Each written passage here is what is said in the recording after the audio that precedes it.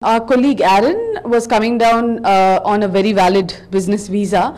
Uh, so it was quite shocking that, uh, you know, yet again, someone has been stopped from coming in. No reasons were given. He was put uh, on a flight back to Kuala Lumpur. He was not given his passport. And in Kuala Lumpur, he was given his passport. And uh, now he's back in Australia.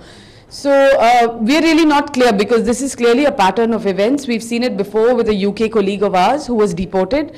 Um, so uh, we've seen that, I mean, so there seems to be a trend where even in a globalized world, uh, where, uh, you know, there should be the exchange of ideas, people should be allowed to move freely, especially in a democracy such as ours, uh, we're not given reasons and basically people are sent back. They're not allowed to enter this country, even if they have a valid business visa. So I think for us, the larger question to the Home Ministry, to Mr. Rajnath Singh, is that we need to understand what the motive and the intent is. We need to know if they need to make, I think they need to make it clear if no Greenpeace citizen uh, or no Greenpeace person across the world is allowed to either leave the country or come back to the country, then this needs to be clearly publicly declared.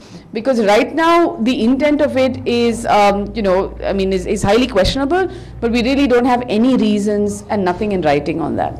So are you going to uh, challenge this uh, act of the government or simply lodging a protest is enough? No, I think I think it's important to raise it. Uh, uh, in Australia, uh, our team is certainly raising it with the High Commission, the Indian High Commission there. Uh, they are on leave till Tuesday, but we've already actually tried to contact them. Uh, and similarly, um, even in India, we do uh, want to actually talk to the Home Ministry about it. Uh, we would really like it if they engaged and you know told us very clearly what the reasons were. We will clearly raise it and ask because this is these are very scary precedents uh, where people free movement of people are actually not allowed. In the Priya Pillai case, an Indian citizen, and here a person who was actually coming. And I think for healthy business or civil society or any group to function, uh, you know, being allowed to actually travel freely across the country and across the world to do work is absolutely critical.